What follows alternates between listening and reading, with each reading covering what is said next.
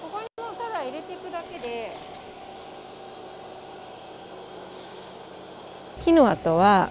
あのちっちゃいあのつぶつぶ雑穀っていう品種に部類になるんですけど上野原では多分8年ぐらい前から特産化しようと言って栽培をしてるんですけども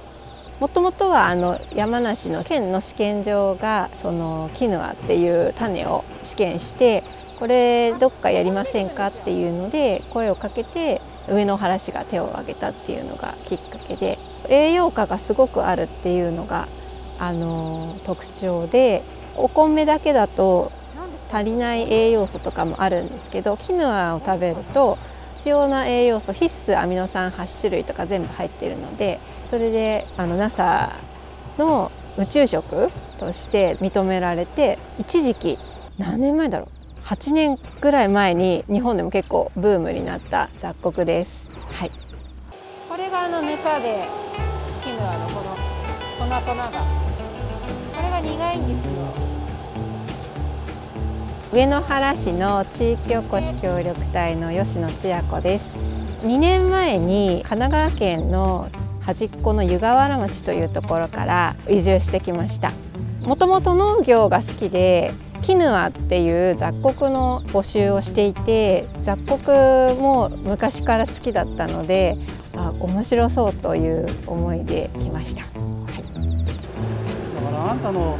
あのキヌアと見てほしいの粒の状態を。あれがそう。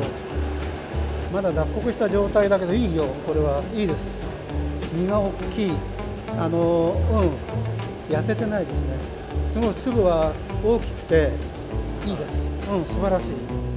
地域おこし協力隊は3年目で今年で終わり今年度で終わりなんですけども最初はそのキヌアっていうものを生産できるようにあの技術を習得というか地域の農家さんとか農業法人ののところに、えっと、手伝いに行ったりして栽培技術を学んで1年2回種まきはできるんですけども今年で3回目栽培で今年はなんとかうまくできたかなっていう感じであとはその生産者さんたちがキヌアの加工所があるんですけども加工所の機械とか使えるようにフォローしたりとかいろいろしてます。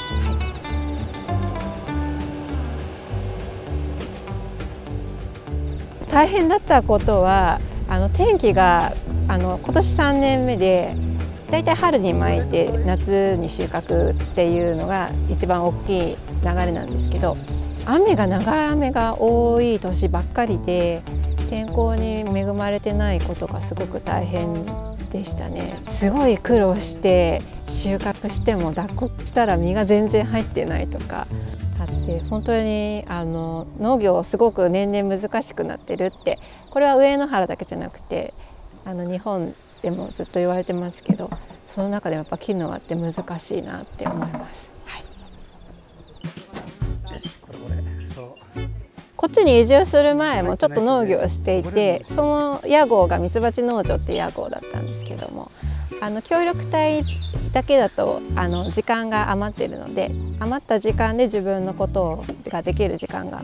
あるのででミツバチ農場っていう屋号で野菜を作ったりしてますただやっぱりその土がまだできてないので本当にいい野菜がこうちゃんとできてるっていうのもちょっと段階があるんですけど。でな活動してたら、えっと、山梨県のなんかその女性企業セミナーみたいなのとかにも参加したりするとやっぱり活動してる人と仲良くなったりしてでそれでなんか鶴市とかで活動されてる方がいてミツバチ趣味でなんか養蜂をやっていて日本ミツバチの。でミツバチ農場って名前だからちょっとあの買いなよ買ってみなよとかって言ってなんかそのなんか巣箱を買ったりとか なんかいろんなご縁本当おかげさまで いろんなおかげさましかないっていう人生なんですけど基本そんなご縁がたくさんできてます。はい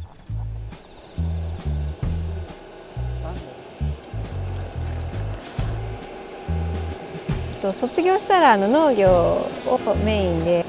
あの農薬とか化学肥料を使わないで、えっと、栽培していきたいんですけどあのキヌアだけだとやっぱりちょっと結構リスクが高いのでいろんな野菜を栽培しながらあとはあの地元の知り合った仲間の方とあのイベントをしたりとかあのまだ実現可能かわかんないですけどそのキヌアの料理教室とかあのキヌアの食堂とかをやりたいなっていう話を今計画中でいます。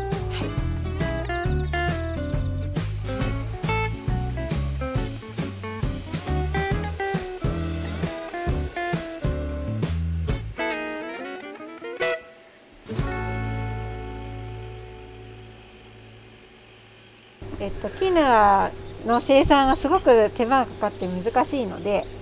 なかなかあの1人でたくさんは栽培できないのであのまだまだ仲間をたくさん募集しています。上野原市でキヌアを栽培したいという方がいましたら市役所までご連絡ください。よろしくお願いします。